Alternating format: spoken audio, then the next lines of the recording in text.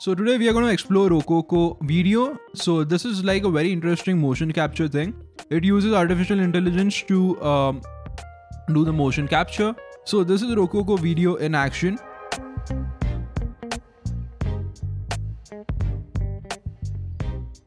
So to use this, you need to download Rokoko Studio first. After that, you need to create a Rokoko ID and you need this ID to use Rokoko Video. So Rokoko Video, the AI motion capture thing works in the browser itself. So this is the dashboard of Rokoko Video. You need to create a new scene first. So create a new scene.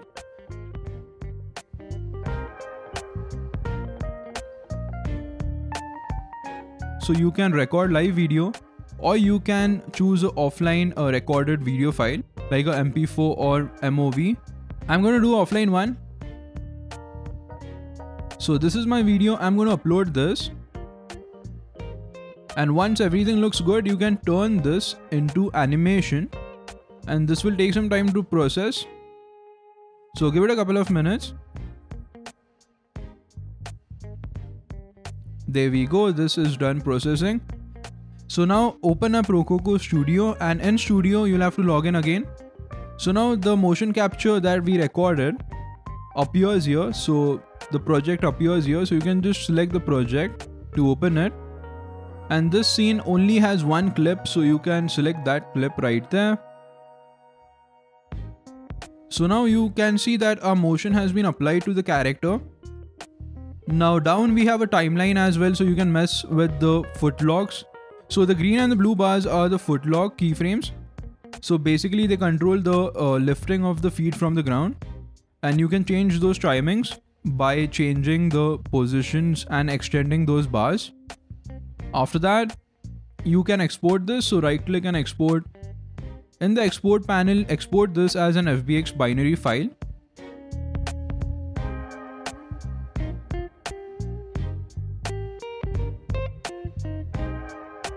And uh, make sure that you are also using a reference pose. That way you can retarget this to different skeletons and now this is a FBX binary so you can import this in Unreal Engine or Blender. So I'm going to show you how to do this in Blender. So just open Blender, import your FBX file. The only thing that you need to uh, check is the automatic bone orientation. So this is very important. Make sure that's enabled and import it. So we have the skeleton right here. Now I'm going to import my custom character mesh. So this is a rigged character and we're going to retarget this animation to our custom character. So we have a free plugin for that. So this plugin has a fantastic retargeter. So here you can select the source skeleton and the target skeleton. And you can rebuild the bone list.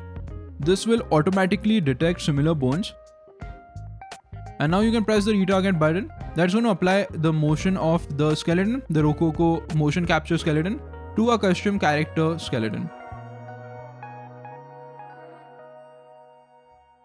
So yeah, that's it.